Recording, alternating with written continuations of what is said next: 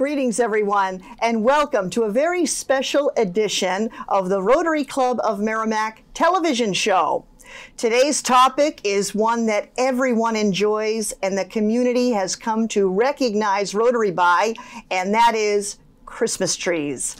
I'm Maureen Mooney, a longtime resident of Merrimack and a member of the Rotary Club of Merrimack, and I'll be your host for the show. The guests today are Joe Mitchell, who is a longtime Rotarian. Welcome, Joe. Thank you, Maureen. Pleasure to be here. And also with us is Bill Wilkes. Bill is currently the president of the Rotary Club of Merrimack. Welcome, Bill. Thank you, Maureen. Today's show is special. Yes, we're talking about the Christmas trees in town, but we're also going to recognize something very special, and that is Bill Wilkes. He has coordinated the Christmas tree sales in Merrimack for the Rotary Club and for the whole community for the past 30 years. 30 years he has coordinated this fundraiser and made a tremendous amount of families in Merrimack very happy when they see their tree year after year. Next year, he's passing the torch, and uh, he's not going away, but he's passing the torch on that endeavor. And we are so appreciative of all the work he's done over the past 30 years on this. Thank you, Bill. Thank you. I've thoroughly enjoyed it, and it's been a pleasure to serve the community and provide great Christmas trees. Oh, no doubt. Let's get right into the Christmas tree sale. So, when does the Christmas tree sale take place this year? This year, we're going to be starting on Saturday, the 26th, and uh, we will sell trees until we sell out. And most likely, that'll be somewhere in the middle part of December. We have a lot of loyal customers. We know the quantity of trees we need to buy, and uh, everything works out well, and, and it's a great success for the community. No doubt. And where does the tree sale take place? It takes place at Watson Park. Okay. Which, for those who may not know, it's directly across from the fire department. And uh, there's an excellent parking down there. And it has worked well for us over the last several years. That's great. Now, where do the trees come from? We buy the trees from Quebec. Okay. In, uh, in Canada. So they have yes, a long uh, yes. uh, way to come to, yes, to, make it to Merrimack. And sometimes that can be challenging because of weather. Yeah. We've had times where the truck shows up and it's full of ice and snow. We may, we may not be snowing in, in Merrimack, but it could be snowing up north. So the trees get encased in ice and snow, and it's a little more bit of a challenge to unload them. But we every year we've been able to get them off the truck and get them at the stand. That's great. Now, this next question, nobody knows the answer to better than you because you've been doing this for 30 years. But when are the trees ordered and how are they ordered? Well, the process starts in July. Okay. Um, typically, the the uh, vendor contacts me in July and asks me if we're going to be selling trees again, and and every year I say yes, and then you know, of course, I ask for pricing, and uh, you know, we have a designated farm that we like to get our trees from because they're high quality trees, and we've had great luck with them. So we have that discussion, and then I go to the Rotary Board Cl- Board of Directors and tell them exactly what's going on, um, the price of the trees, how many I think we should buy, um, and it's usually accepted by the board to buy whatever quantity I recommend, and uh, then we place our initial order in September. Wow, so much goes on to uh, coordinate and organize this fundraiser behind the scenes. Not many would believe that uh, they have to be ordered in July. We're already talking Christmas in July to get that order on time. When do the trees arrive this year? This this year we're getting the trees on Monday the 21st. Uh, obviously, a few days before Thanksgiving but you know they'll be on the site for five or five days or so before we start selling. And how is the Christmas tree stand set up? It's quite elaborate down there with lights. There's a trailer that's brought in, uh, various stands for the larger trees, the smaller trees, even the Rotary emblem, a huge one, is on display there. Who sets that all up? Rotarians set up everything, and we've gotten smarter over the years.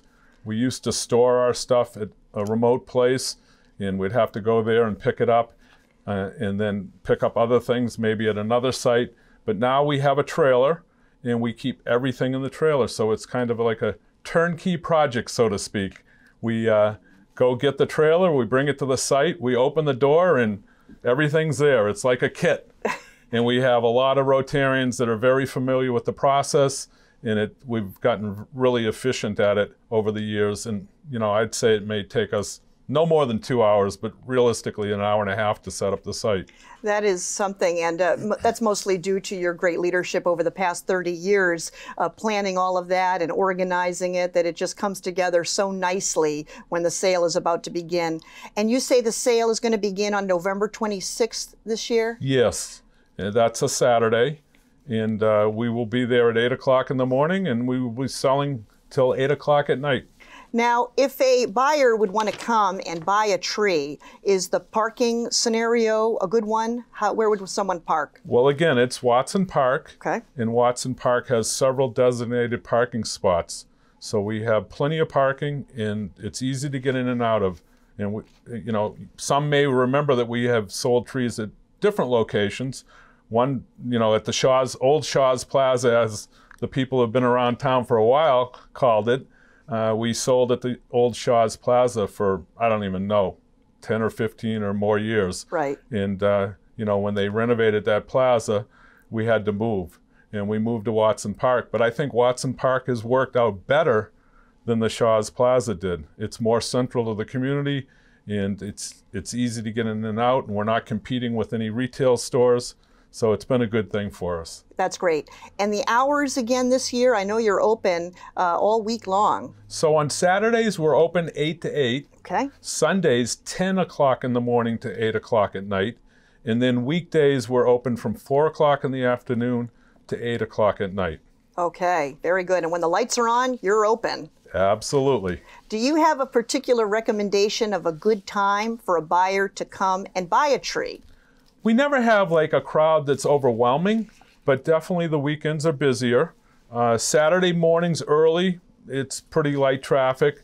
Uh, the afternoons get busy on Saturdays, same with Sundays. But if you don't want to fight any crowd whatsoever, Mondays or Tuesdays are great nights to show up. Joe, what do you think? Any recommendations for a good time to buy a tree? I agree with Bill. I think it's best to get there uh, when there's not as many people. So Monday through Friday evening, they're always very easy to get in and out. Um, the weekends, they don't get that crowded either, it's, but it's very steady in the weekends, and it's a little bit easier to get waited on uh, during the week. Definitely. So, when does the tree sale end? Well, we, le- we pride ourselves in selling every tree. So we schedule uh, Rotarians, and at times we have non Rotarians helping us out too, as well as the Interact Club. The Interact Club is, is a part of Rotary, but it's for the younger people at the high school. So we have those people helping us. We schedule people, uh, and they have designated shifts, and it would be kind of just like you were at work. Yeah. I mean, if you're due to be there four to eight, you know, we, we don't dock your pay, but, uh, you know, we expect you to show up on your shift. Uh, and, you know, we go through a process of making the schedule and uh, people check when they're available. But uh, over the years, we haven't had much problem with that. Once people commit to a shift, they show up. So, but Rotarians are kind of in charge, but there's helpers also. Yes, and if a Rotarian, if something comes up and a Rotarian needs to ha- swap with someone for a shift, that's a common practice in our club, in that we um, find someone and they take over our shift and we take theirs. Very easy. Yeah, and Rotarians are accommodating, and so it works out well. It's not a problem whatsoever. Right. All right, now to get into the trees themselves, what kind of trees are available this year? Well, we, we buy three different types of trees. We buy balsams, we buy Frasers, and there's a new tree that's come about in the last five or six or more years, and they're kind of a hybrid tree. In hybrid meaning they're a combination of balsam and Fraser. Uh, And, a, They- fra- and a Fraser is a fir tree, right? yes. As opposed to balsam. Okay. Yes. Um, the growers claim that the hybrids have the best of both worlds. I see. Yes, you know, um, in the trailer when we sell trees, there's various things posted on the wall. For example, all of our phone numbers, just in case someone needs to come to their shift or needs to swap, and what the schedule is. Another uh, handout is a comparison sheet between the Fraser and the balsam, and with a visual there in terms of what they look like. How would you contrast the two or compare the two? So the Frasers have a, a stronger branch and heavier needle. Um, so if you have a heavy ornament, some customers prefer the Frasers. Uh, the the balsams, the needles aren't as strong, or the branches are not as strong, but and the needles, you know, are not as strong also, but they smell better.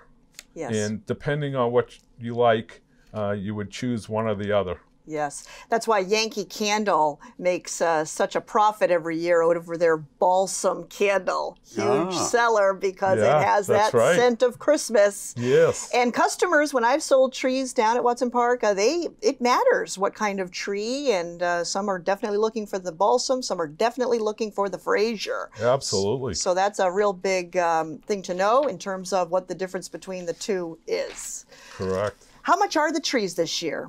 Well, unfortunately, we've been forced to raise our price a little bit. We've tried to hold our pricing as low as possible, but this year we will be selling our six to eight foot trees. Will be selling for seventy dollars, Okay. and our large ones, which are eight to nine feet, they will be hundred dollars. Got it. And how is payment received by the Rotary Club of Merrimack? Well, we still receive cash checks made out to the Rotary Club, or we're able to take credit cards. Excellent. And that seems to be the preferred method. Not that it matters, but I do notice several have taken advantage of the credit card uh, processing that we have as a club now. Yes, that's uh, that's been a big addition for us because a lot of people over the years asked if we took credit cards or debit cards, and we were unable to take them. But now with te- technology the way it is, we have one of those nice little devices that you can just s- swipe the credit card through, and and the customer can pay that way. It works well. Very well. Now, there's a tradition in our club to contribute trees to the less fortunate in the community. Joe, can you give us a summary of that? Yes, every year um, we um, contact the town welfare department to try to identify uh, people in the town who are having uh, some assistance from from the town uh, and who may need a, uh, a free Christmas tree. Um, we contact, we get a list of, of folks that welfare department feels are in need, and um, we give them welfare department a sheet of paper, and the sheet of paper goes out to the person, the family that's in need, and they bring that down, and uh, we give them a free tree. Um, a couple of years, people have needed to have the trees transported, and we can arrange to do that as well. Just a little story, if I may. I, I was down there one year, and a lady came in that I knew quite well. Uh, She worked for a client of mine, and, and I knew that uh, the client was downsizing, although she was a good worker, and she got uh, laid off uh, right around beginning of the month of December. So she came down with the with a little sheet of paper and said, "Geez, Joe, I'm so embarrassed about this, um, um, but I'm I'm here to get a free tree if I can." Uh, and I knew she was uh, a single mother with a couple of children, and um, she said, "You know, I, I hope you don't tell anybody about this." And I said, "You know." This is what we're here for. We're really glad to do this. Um, it's a great thing for us to be able to help out. And if you need help this year, we're very, very happy to help out. And if you need help next year too, we'll be glad to do it again. So it really helps out people who are going through a hard time, either temporarily or permanently. Excellent. Yeah, that's very true. Uh, such a service to the community. And if any of our viewers would be interested in donating a tree themselves to somebody, perhaps they could go to our website, uh, merrimackrotary.com, and contact one of us to see how they too could get involved in donating a tree to someone in town. Yeah. How tall are the trees this year? Well, we, we buy 300 trees that are six to eight feet. So they vary between that those two dimensions. And then we buy 50 trees that are eight to nine feet. Some people with cathedral ceilings, they like the big ones. Um, obviously, not everybody wants the big ones. Um, they're a lot of fun to put up, and you can put a lot on them, but they are heavy. Uh, so we do sell more of the six to eights than anything, and uh, those are the different sizes. Excellent. Now, um, you mentioned earlier that the Rotarians do shifts in order to sell the trees, typically in four hour blocks. How is that schedule created and how is it manned? Well, um, again, we have a person in the club who's taken responsibility for the schedule, and uh, they talk to the club members, usually starting in October, late October, asking them when they're available and when they're not available. And they gather that information and they put out a preliminary schedule and then there's a little discussion back and forth by people saying, "Oh, I didn't I forgot that I did have a commitment on a certain date or whatever." But long story short, at the end of the day, um, we have a final schedule, and people are really good about meeting their commitments. Yeah, that's great. Now, when someone buys a tree, naturally they have to transport it home. So, Joe, how is it that someone could take their Christmas tree home? Well, our favorite mode of transportation is, of course, the pickup truck. So yes. if somebody comes with a pickup truck, we only have to put it in the back and it doesn't have to be tied down, and that's really easy. Uh, most folks, though, uh, need to have it either tied down uh, in their trunk sometimes, but particularly on top of the car. If they have a, a roof rack some, of some kind or a blanket to put up there to go between the, the, the car and the, and the, uh, the tree, um, we then uh, tie the, the, uh, the, tree to the car or to the roof rack so that it can be easily transported. And then when they get home, they just snip the, the twine and take the tree in the house. One thing Rotary offers is to take about an inch or so off the tree from the bottom. What is the significance of that? Okay. When, when the tree is cut um, in the field, um, it's usually several days before we can get it here to Merrimack. And so the bottom, the sap on the bottom gets hard and then if you put it in the water like that, the, the water has a hard time getting up into the bark to up into the tree to keep the tree moist. So when we sell it in Merrimack, if you're going to put it in the water right away when you get home, uh, what we do is we cut about an inch off the bottom, or as much as they want off the bottom, and sometimes we have to trim it up a little bit to make room for the Christmas tree stand. Right. Uh, and then we fresh cut the bottom, and then when they get get it home, they put it right in the water, um, and the tree can uh, is doesn't the sap on the bottom isn't hardened yet, so it can go right up the tree and keep the tree fresh for as long as you have it in your home. Oh, that's great. Now, oftentimes, some years it gets icy, it gets snowy. Who is it that brushes the snow off the trees? Well, Rotarians uh, work together, and uh, you know whether one of the people in the club might have a snowplow, and they can get some of the big, uh, larger amounts of snow out of the way. We do that, but we also have a couple of Rotarians that bring down a snowblower and uh, then old-fashioned shovels. Yes. And we shovel the aisles so that uh, customers can get in there and view the trees. So one way or another, we get the snow out, of the site. Yeah. Uh, it sometimes it's more work. In other years, we don't have any snow at all. Right. And again, if those lights are on at Watson Park, we're open. Absolutely. now, do you have a favorite memory over the past 30 years of selling Christmas trees? Well, I think you have one of the best memories, Maureen. and I'd like you to share that with the oh. audience because that's a that's a great memory. I do have a great memory. In fact, I have a photo to go with it. Uh, it was a while back, and it was at a time when Rotary was selling trees at where Hayward's ice cream is now. And I was on my shift, and I'm selling trees, and we're going about our business. And the next thing you know, a car pulls up, and they take out of their car a little car, a child's car, as well as a little Christmas tree and they took out a little child and they started to set up in front of our stand uh, the tree tied to this little car and they put the little boy in the little car. And our tree stand served as the background for this photo. And so it looked as though this baby was driving away with a little Christmas tree from our stand in his little car. And they took a picture. It was going to be their Christmas card picture that year.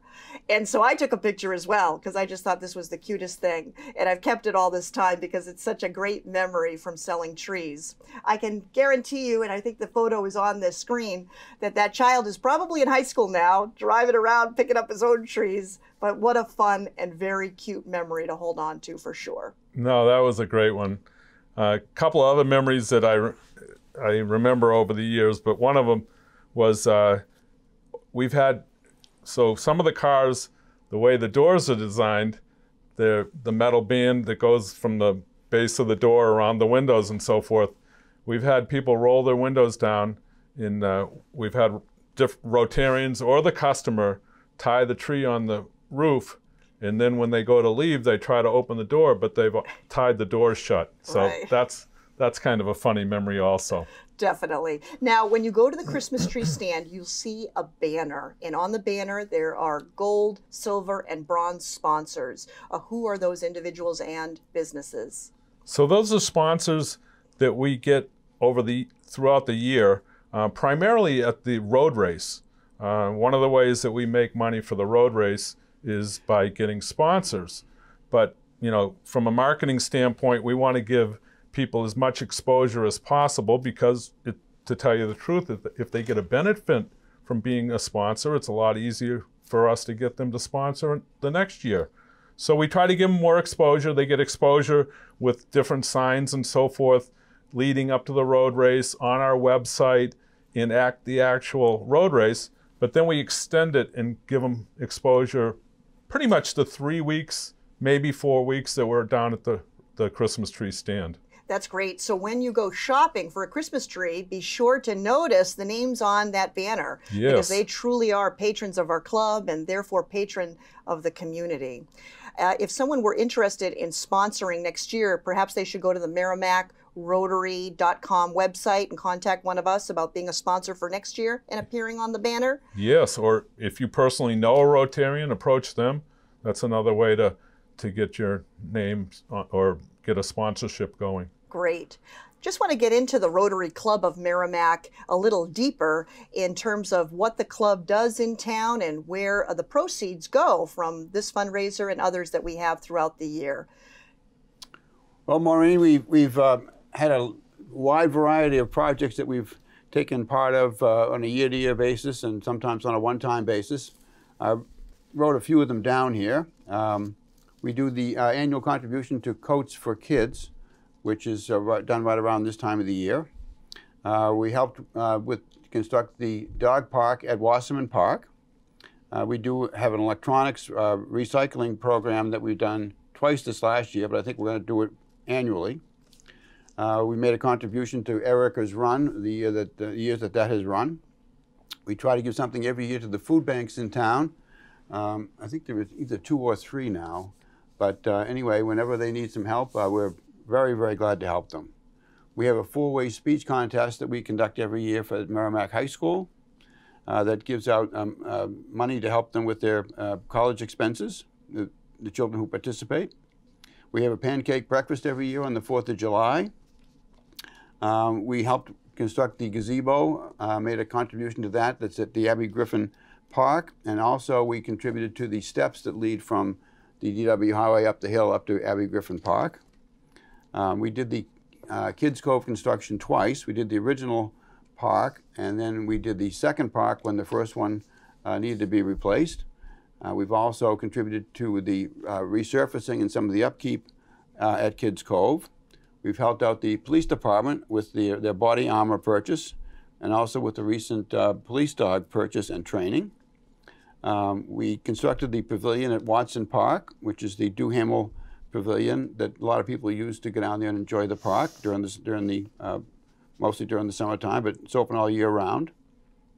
We have a scholarship fund uh, that we give out every year at graduation time to uh, not only somebody in, in financial need that's going to a regular curriculum, but also we want to make sure that we give some to somebody going to a trade school or somebody majoring in, a, in an arts program. Um, we give scouting recognition to the uh, Girl Scouts uh, and to the Boy Scouts, on a, usually on an annual basis. We sponsor the Turkey Trot race that Bill mentioned, which is the five kilometer race, which is coming up on the morning of this Thanksgiving of this year and every year on it. So we hope you can come and participate or uh, watch a lot of uh, people more fit than myself go out there and have a good time in the cold weather.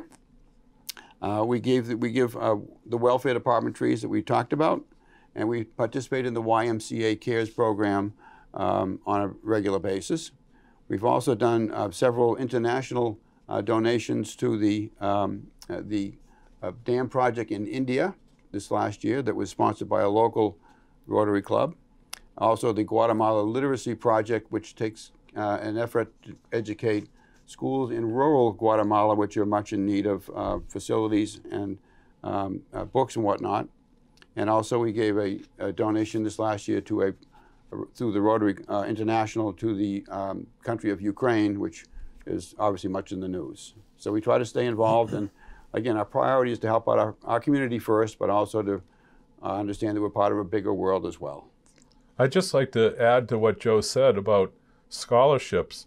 Uh, believe it or not, we give the most dollars in town for scholarships. Last year, we gave Wow. twenty-four thousand dollars in scholarships, Wow. and I think that's blows away most of the other scholarships. Not that they're not significant, but um, Rotary does really help the seniors graduating at Merrimack High School and uh, any other institution uh, for anybody who lives in town, Yeah. uh, whether it be a private uh, school or what or whatever. Amazing. I forgot to mention too that the Reeds Ferry School, there are some athletic fields there adjacent to the school, Oh, and right. they, they have a very nice set of lights up there that uh, we put up a number of years ago. Oh, that's fantastic. Wow. To think that the community, by buying a tree to have a nice Christmas, helps the community in all of those ways that you mentioned. It's really quite a program.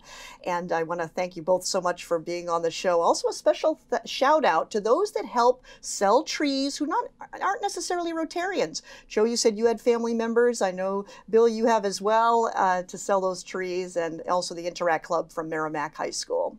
So it's hard to believe our time is coming to a close, but we'll see everybody when they come to buy a tree starting on November 26th.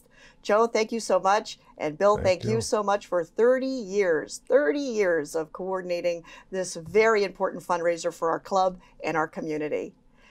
Merry Christmas to all, and thank you for watching.